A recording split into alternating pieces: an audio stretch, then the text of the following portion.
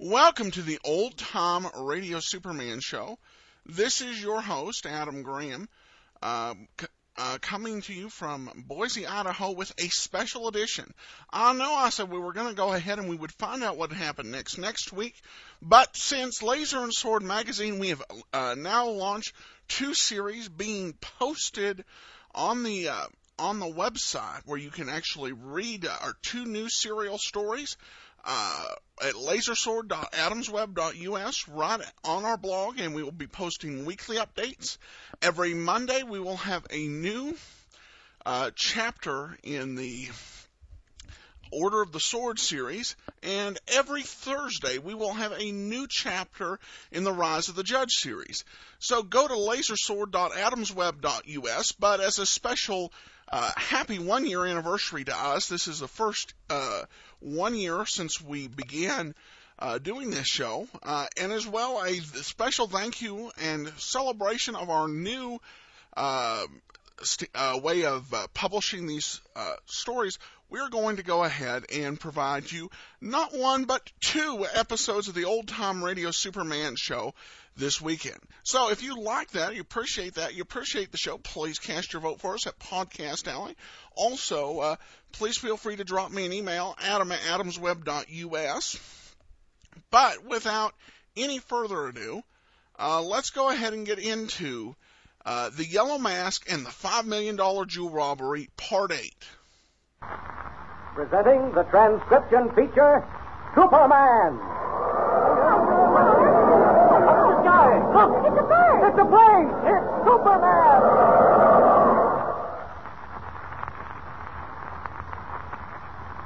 And now, Superman, strange visitor from another world whose physical powers are far beyond those of mortal men, and who wages a never-ending battle against crime and oppression, disguised as Clark Kent, mild-mannered reporter for a great metropolitan newspaper. Puzzled by the uncanny disappearance of five huge transport planes, all of which were carrying collections of precious gems to the National Jewelry Exposition, Kent and young Jimmy Olsen, copy boy on the paper, found their way to a 30-story abandoned skyscraper, the Parkway Tower, located on a weed-grown field a mile from the airport. As they neared the entrance, a young woman whom they had met before in connection with the stolen jewels came out carrying a suitcase. Kent stopped her, but she drew a gun, warned them not to move, and vanished into the fog-bound night. Leaving Jimmy behind, Kent followed her and snatched her gun away. Frightened, she turned and ran. Suddenly, a scream knifed out of the darkness, and the girl disappeared before Superman's amazed eyes. Listen. She's gone. Vanished. Not a sign of her out here.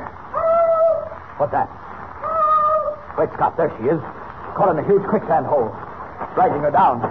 Don't struggle. I'll get you out. Thinking fast. No wonder. Such terrific. Hope I can get out myself. Another few feet. There. I've got her. Ah, she's fainted.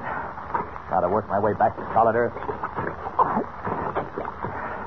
Won't be easy. I need all my strength. Getting there.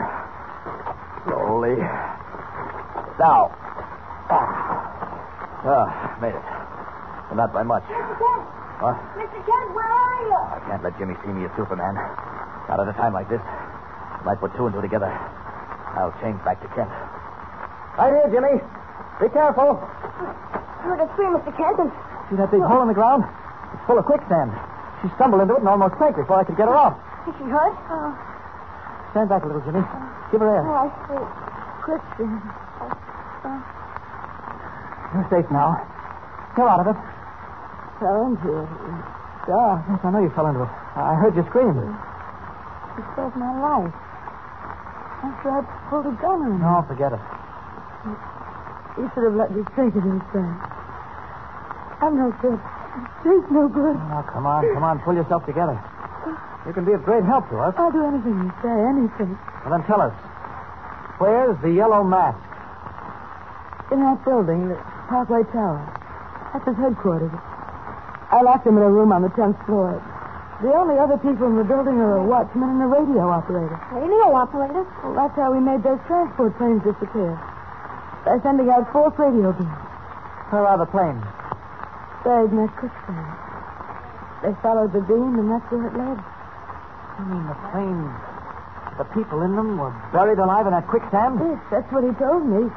But before the plane sank, his men took the jewels off them. Are you telling me the truth? I swear it's the truth.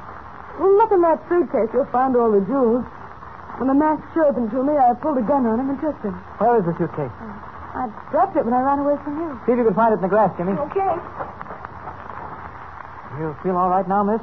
Here's the suitcase. Right here. It's awful heavy, though. Good boy. Set it down here. We'll open it. All right.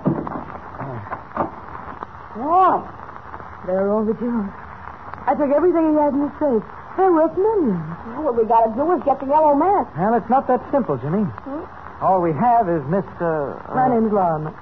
Chicky Lorimer. All we have is Miss Lorimer's word against the yellow masks. And I don't think it's enough to hold up in court. This time we've got to be right and put the mask behind bars for life. Yeah, but how? Slippery as an eel. Well, even eels can be lured into traps. You still want to help us, Miss Lorimer? I told you I would. All right. Now, the first thing to do is to get back to the city with these jewels. Then we'll figure out a trap for the yellow man. A trap strong enough to hold him. Here, I'll take the suitcase, Jimmy. You help Miss Lorimer. Okay, Mr. Kent. Where are we headed? Back to the airport. That's where we parked our car. Just follow me.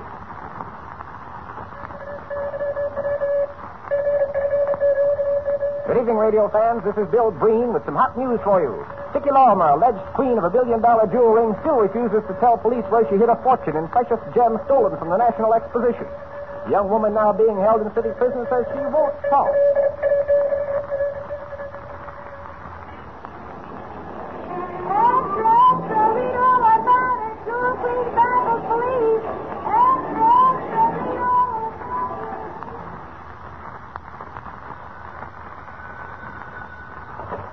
Police Commissioner's office. Commissioner, this is Evans, National News Service. What about that Lorimer girl? Are we getting the true story? Of course you are. Well, it sounds fishy to me. Well, that's just too bad. Goodbye. Kent, you can't keep this up much longer. The papers and news services are beginning to smell a rat. All I ask is another 24 hours, Commissioner. If the yellow mask doesn't bite by then, I'll step out. All right, but I don't like it. What do you think the papers would say if they knew we had the jewels and weren't returning them to their rightful owners? Something's going to break tonight, Commissioner. I've got a feeling it will. Now, I hope so, Kent, because I'm in a spot now. This yellow mask you keep talking about. What if he doesn't exist? Oh, I can assure you he does. As a matter of fact, I'm willing to wager that this very moment he's plotting to get his hands on those missing jewels. And that's just what we're waiting.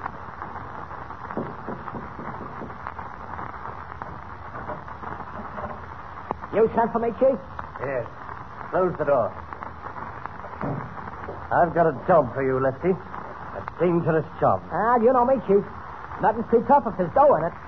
Five hundred dollars, Lefty. Why, Chief, for five C's, I'd steal a battleship with half the Navy on it. I don't want any battleships. But listen closely. There's a girl being held in the city prison. Yeah, I heard about her over the radio. Cut the load of ice, didn't she? She walked out of here carrying fifteen million dollars worth of precious gems. Ah, that ain't hay. Where'd she get the haul? Never mind that. I want that girl brought to me. You mean I, I gotta fling her out of the jug? Exactly. And for performing that little service, you will be paid five hundred dollars on delivery. Well, I, I don't know, Chief. Flinging a dame out of that hoosegow ain't no pipe. I thought you said no job was too tough for you as long as there was money in it. Well, yeah, I know, but maybe I'll have to grease the skids. Maybe I'll have to pay off a couple guys. Uh, how about making it a grand? Thousand dollars? Well, that ain't too much. Not for this kind of job. You guarantee to get her out tonight? Sure, sure. Where do I take her? You want me to bring her here? No. I've got a little place about 20 miles from the city. I'll tell you how to get there. But first, there's another little matter that you and your friends will have to attend to. Yeah, what is it? You may be followed. In case you are, I have a plan for getting rid of whoever follows you. Okay, but first let me call a couple of guys and get them set. Go ahead. There's the phone. These guys know their stuff.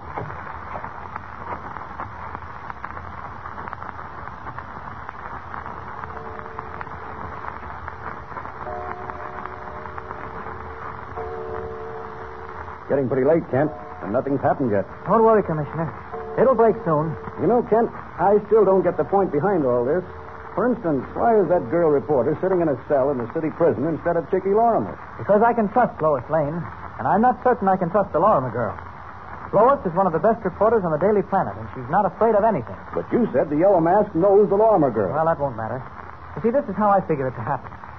The mask must have read in the papers or heard over the radio that the police are holding Chicky Lorimer. But she won't tell where the jewels are hidden. And actually, he figures if his men can bring him the girl, he can force her to reveal the hiding place. Well, what if they do break her out? I, I mean, Miss Lane. I'll follow them in my car, just to see that nothing happens. Lois has full instructions. She knows what to do. I better send a police detail along with you, Kent. Now, that won't be necessary, Commissioner. I'm taking young Jimmy Olsen. He's been on this case from the beginning and wants to see it through. He's waiting outside in the car. Excuse me. Commissioner's office. Yes, Cassidy. What? You sure? All right. Handle it just as I ordered. You were right, Kent. A man has just applied at the prison for permission to talk to Chicky Lorimer. Says he's her brother. Come on. We can watch what happens from the front window. Prison's across the street. Here, sit down. Oh, thanks. Does the warden know what he's to do? Yes. No resistance. Let them take the girl. Good. Ah, that must be their car in front of the prison. Big black sedan, motor's running. Kent, look. They've got her. They're coming through the gate. That means I've got to get going. See you later, Commissioner.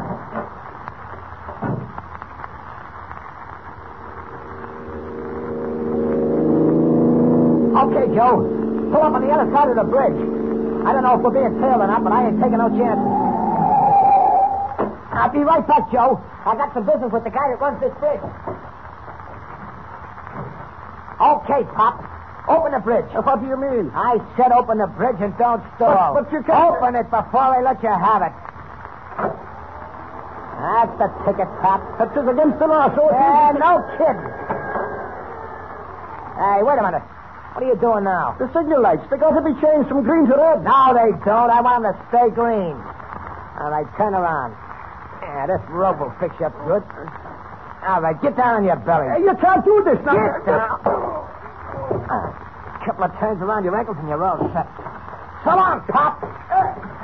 Come back! Come back here!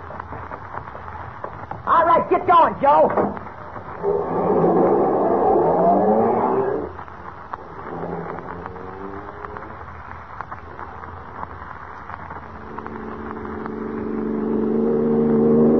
Think we'll catch up with him, Mr. Kent? In a mile or so. They've got a fast car, but we're stepping right along. What's that green light up ahead? Oh, it's a signal light on a drawbridge. Oh. When the light's green, that means the bridge is closed. I'd better get over it before some boat comes along the river and the bridge opens. Here we go, Jimmy. Yes, there they go at better than a mile a minute, hurtling through the darkness over a drawbridge that shows a green light, but is wide open with only the deep, swirling river below. What will happen? Don't forget to tune in next time and follow the thrilling story with Superman. And remember, tune in the next thrilling installment of the transcription feature, Superman. Up in the sky! Look! It's a bird! It's a plane! It's Superman!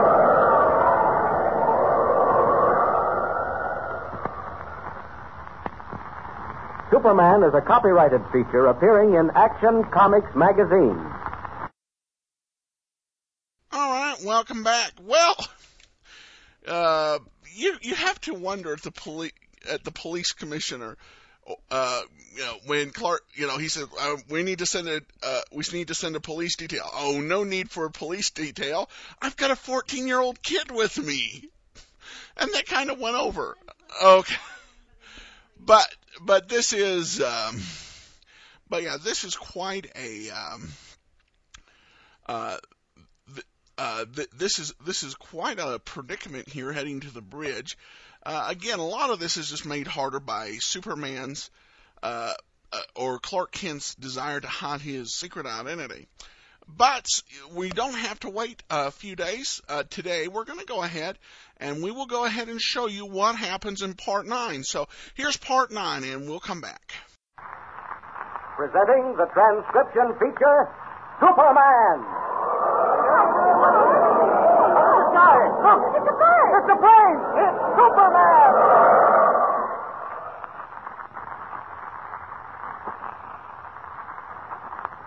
And now, Superman, strange visitor from the planet Krypton who has come to Earth with physical powers far beyond those of mortal men, and who fights a never ending battle against crime and oppression, disguised as Clark Kent, mild mannered reporter for a great metropolitan paper. When Kent captured the mystery girl, Chicky Lorimer, with a fortune in stolen jewelry she had taken from the Yellow Mask, he realized it was an opportunity to lure the mask into a trap that would place him behind bars for life. With the cooperation of the police commissioner, the story went out that the jewels had not been recovered and that Chicky Lorimer refused to tell where they were hidden. Certain the mask would attempt to get Chicky Lorimer out of the city prison where it was reported she was being held. Kent arranged for his paper's star girl reporter, Lois Lane, to take her place. Sure enough, the masked henchman freed Lois from her cell at gunpoint, sped away in a car with Kent and young Jimmy Olsen trailing them. As our story continues today, Kent's car is approaching a drawbridge. The green go-ahead signal is on, but unknown to either Kent or Jimmy, the masked hired desperados have tied up the bridge watchman, opened the draw, and left the green light burning. Listen. Hadn't you better slow down going over the bridge, Mr. Kent? We can't afford to slow down, Jimmy. They're about a mile ahead of us now. We don't want to lose them. Just you sit tight. This car holds the road. Are you sure that green light means we can go ahead, that the drawbridge is closed? That's right. When it's red, the drawbridge is open. Say, is this the kind of a bridge that breaks in the middle and swings up on both sides to let boats through? No, the whole bridge doesn't swing up. Just about 15 feet on either side. Oh. Now, hold on. We're almost to it. Boy, listen to those tires, huh? Yeah, they should. We're doing 65. Mr. Kent, look! The bridge is open! Oh, I can't hold her. She's skidding. We're going through the wall, Mr. Kent!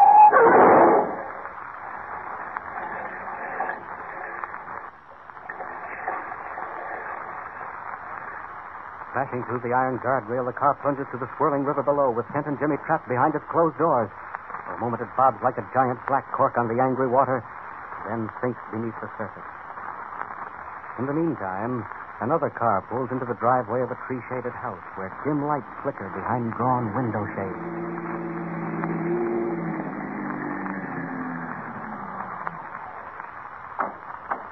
Okay, sister.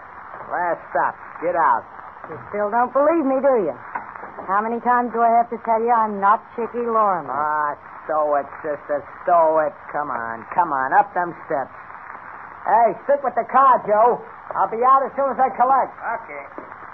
You're gonna look like an awful dope bringing in the wrong girl. Ah, listen. Don't make me laugh, sister. I got chapped lips. What did you do when you stopped at that drawbridge? Oh, I just opened up the drawer in case he was being tailed. Hey, why don't someone answer here? Who is it? Me, Chief. Lefty. I got the tame. Open up. Come in. Quickly. All right. Go ahead, sister. Well, here she is, Chief. Just like I promised. You fool. What's the matter? This isn't the girl. I told him, but he wouldn't listen. Hey, now, wait a minute. Wait a minute. I'm getting played for a sucker. Didn't you say you wanted Chicky Lorimer? Well, that's her. I am not. My name's Helen Taylor. Oh, now, don't listen to her, Chief. She's been pulling that line all the way out. Shut up. just... This isn't the girl I want. Well, that ain't my fault. You asked for Chicky Lorimer, and you got Chicky Lorimer. Uh, maybe I can explain this mix-up. Ah, who asked you? Let her talk, Lefty. How can you explain it? I was in the same cell with the girl you want, Chicky Lorimer. They nabbed me for shoplifting. I guess the guard made a mistake when he came for Lorimer. Took me instead. Told this half-wit I wasn't the girl he wanted, but he wouldn't listen. Oh, Who's a half-wit? Now, keep quiet, Lefty. You've done enough bungling. Oh, what about my grand? We'll attend to that later. So, young lady, you were in Chicky Lorimer's cell. Did you discuss anything with her? Who wants to know? I do. You the yellow mask? What made you ask that? Um, Chicky gave me a message for the yellow mask. In case I got out before she did. A message? What kind of a message? Well, it's personal. Wait outside, Lefty. All right, I don't know what it's all about. No, Miss. Uh, Taylor. Helen Taylor. no, Miss Taylor. What was the message? Are you the yellow mask? Yes, I am. About the jewels. Yes, yes. Chicky said to tell you she was sorry she pulled that trick on you when she took the jewels. Yes, but where are they? I'm coming to that. Give me a chance. He said the cops didn't get the jewels. I knew that, but where are they? Where did she hide them? The suitcase is hidden under a bush in the field near the Parkway Tower. She described it to me so I could show you how to find it. Excellent. We'll leave at once and pick it up. And I shall see to it that you're rewarded handsomely, Steve. Oh, that's all right. Um, say, have you got a phone here? I'd like to call my sister and tell her I'm out of jail. A phone? Certainly. In the room at the head of the stairs. Over there. Go right ahead. I'll wait for you here. Thanks. Only take me a minute.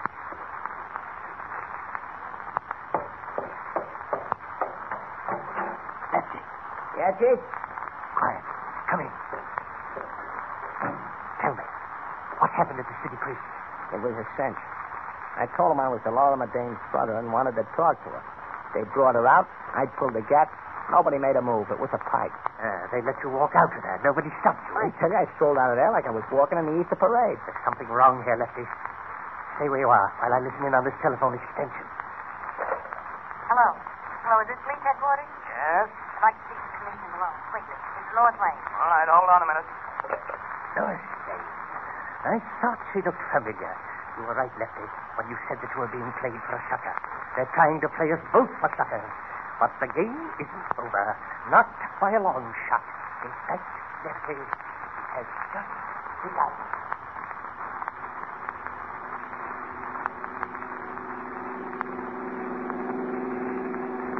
We were lucky to get another car to drive back in, Jimmy. One that fell in the river wasn't much good. I still don't know how we got out of it alive, Mr. Kent. I don't remember anything that happened after the car skidded off the bridge. Why, you bumped your head on the steering wheel. But how did you get the door open underneath the water?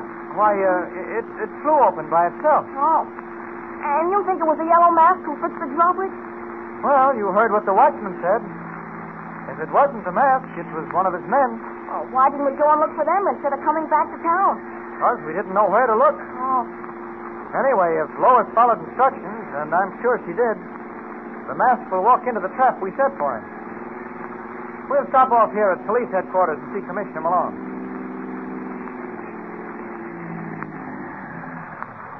There we are.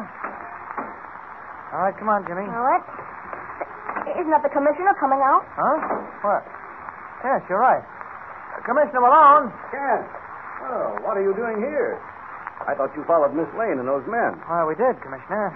Well, they stopped us by leaving a drawbridge open. Jimmy and I came close to having a serious accident. Well, you can tell me about it later. Miss Lane called. I don't know how she managed to get to a phone, but she did. We're on our way to the Parkway Tower field right now. Uh, is uh, everything all right? So she said. Evidently, the mask fell for her story. Good. He's going to the field to pick up the suitcase full of jewels? Yep. She'll be with it. Ah, it's working out just as we planned it. All right, uh, Jimmy and I'll follow you, Commissioner. No, no, you come along with me. Plenty of room in my car. But, Kent, Yes? don't you think the boy would be better off remaining behind? You me? Oh, gee, don't leave me out of it now. No, he'll be all right, Commissioner. Oh, I suppose so. I've planted 50 men around the field. Good. Well, let's get going. Kent, if this little scheme of yours works, we'll have the mask dead to rights with the goods. Step on it, Parker. When you're near the field, dim your light.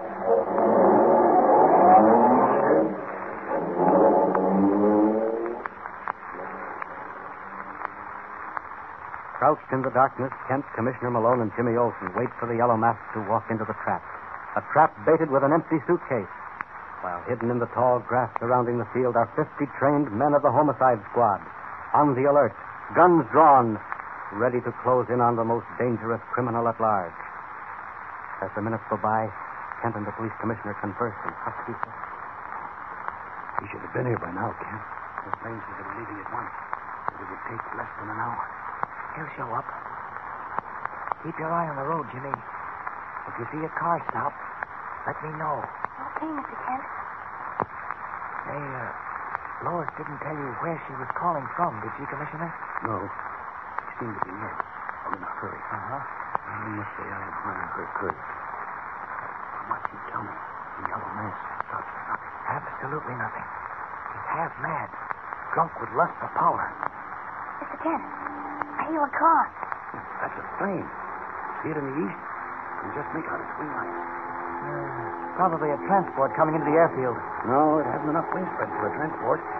Keep your eyes on the road, Jimmy. Oh, why forgot? That plane is coming in for a landing. Looks like a private job. I hope he doesn't think he can land in this field. No, no, he'll level off and slide into the airport. He's got his searchlights on now. He's not going into the airport. He's diving straight at us. No, Kent. He can't be. He is. Is the yellow mask at the controls of the roaring plane that came diving out of the night? If he is, what vengeance does he plan to take against those who set a trap for him?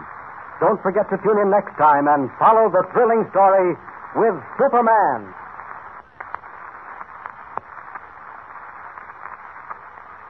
And remember, tune in the next thrilling installment of the transcription feature, Superman.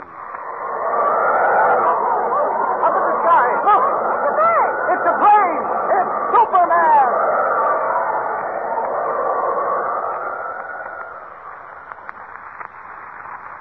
Superman is a copyrighted feature appearing in Action Comics magazine.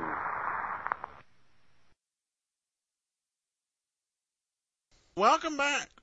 Well, I'm glad in one way that the mask caught on to the scheme. Yes, it adds some danger to the story, but you know, he's been a quite interesting villain in this whole whole story.